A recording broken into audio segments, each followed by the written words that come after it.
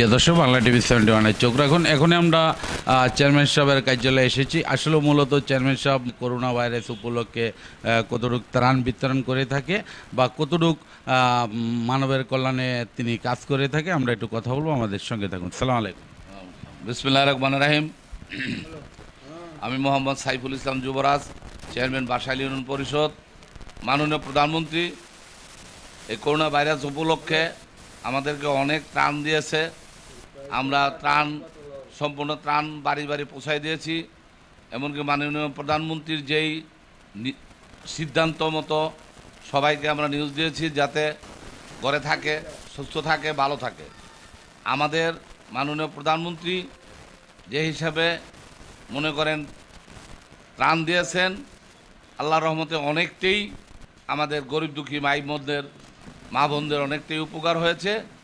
আমার একটি কথা, প্রধানমন্ত্রী, আমি অনুরোধ করব যে সামনে যেই কতদিন পর্যন্ত করোনা ভাইরাস থাকবে, ততদিন পর্যন্ত যাতে অনেক প্রতিষ্ঠান থেকে ঋণ পরিশোধ করে, ঋণ করেছে করাই করেছে, যাতে তাদের কিস্তিটা আরও তিন মাস যাতে না নেয়, আমি মাননীয় প্রধানমন্ত্রীর কাছে অনুরোধ করি। পিছনে অনেক তিন মাস করোনা ভাইরাস থাকাতে মানুষের অনেকটি অসুবিধা হয়েছে। করোনা ভাইরাস ছাড়ার পরে মানুষ কাজকর্মেতে নেমেছে, তারা কাজকর্ম করিয়া আশা করি যারা কিস্তি দেবে। এখন যদি কিস্তির উপর চাপ পড়ে, তাহলে মানুষের উপর অনেকটাই অসুবিধা হবে। যাতে মাননীয় প্রধানমন্ত্রী কিস্তিটা আরও তিন মাস পরে করে, এটা আমার অনুরোধ।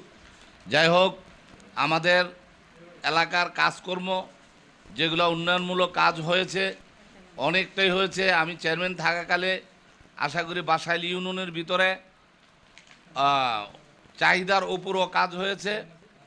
সামান্য যে কাজগুলো রয়েছে, আশা করি সামনে যতদিন পর্যন্ত প্রধানমন্ত্রী ক্ষমতা আসেন বাকি কাজগুলা আমাদের সম্পূর্ণ সমাধান হবে। এই সরকার ক্ষমতায় থাকলে আমাদের অনেকটা উপকার হবে, যাতে আমরা এলাকায় কাজকর্ম করতে পারি।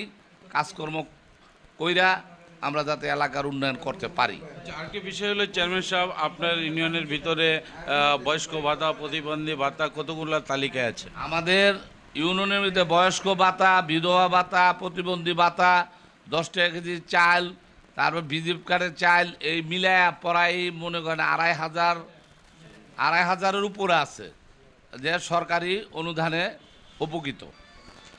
এই হলো আমাদের বাসাইল ইউনিয়নের অবস্থান। আচ্ছা আরেকটি বিষয় হলো চেয়ারম্যান সাহেব আপনি আপনার ইউনিয়নের ভিতরে মাদক নিয়ে কতটুকু কাজ করে থাকেন? আমার ইউনিয়নের ভিতরে আল্লাহর রহমতে আমি এটা বুকে হাত দা বলতে পারি মাধবের দিক দিয়ে অনেকটাই আমরা ভালো আছি। মালদবের ওরকম কোনো প্রভাব আমাদের ইউনিয়নের ভিতরে নাই। আচ্ছা বাজার যে আমরা দেখতে পাচ্ছি এই বাজারের ভিতরে মাহামারী করোনা উপলক্ষে আপনি কতটুকু দোকানদারকে সচেতন করে থাকেন বা তারা কতক্ষণ দোকান চালানোর পরে কয়টা বাজে বন্ধ করেন? আমার ইউনিয়নের ভিতরে আমি প্রতিদিনই বিকাল তিনটার সময় আমার গাড়ি নিয়ে আমি প্রত্যেক বাজারে বাজারে ঘোরাফেরা করি। যে মাননীয় প্রধানমন্ত্রী যেই নির্দেশ দিয়েছে, সেই নির্দেশ মতন আপনাদের কাজ করতে হবে। আপনারা চারটার পরে সকাল আটটার পরে থেকে খুলবেন চারটার পরে আপনারা কোনো দোকান পোশাক খোলা রাখবেন না। আশা করি আমাদের ইউনিয়নের ভিতরে মাননীয় প্রধানমন্ত্রীর নির্দেশ মেনে চলে আর চলবে ইনশাল্লাহ। আচ্ছা আপনার ইউনিয়নের ভিতরে যে করোনা মহামারী করোনা উপলক্ষে যে ত্রাণগুলা এসেছিল সেই ত্রাণগুলা কতজনকে আপনি দিয়ে থাকেন? আমাদের ইউনিয়নের ভিতরে এই পর্যন্ত মনে করেন সব মিলায়া যাতে ওই জেলা প্রশাসক তারপরে মনে করেন বিজেপ তারপরে হইল বিজিডি এমন মিলে প্রায় মনে করেন চার হাজার লোকের ত্রাণ আমরা পেয়েছি। ধন্যবাদ আপনাকে আমাদের বাংলা টিভি সেভেন্টি ওয়ানে থাকার জন্য। আর এ বলে আমার দেশবাসীর পক্ষে থেকে আমার একটা অনুরোধ আপনারা ঘরে থাকুন সুস্থ থাকুন সবাইকে ভালো রাখার চেষ্টা করুন। নিজে ক্ষতি হবেন না, অন্যকে ক্ষতি করার চেষ্টা করবেন না। আসসালামু আলাইকুম, জয় বাংলা, জয় বঙ্গবন্ধু। প্রিয় দর্শক এখনও কিন্তু আমরা সরাসরি চেয়ারম্যান সাহেবের সাথে কথা বলে থাকি।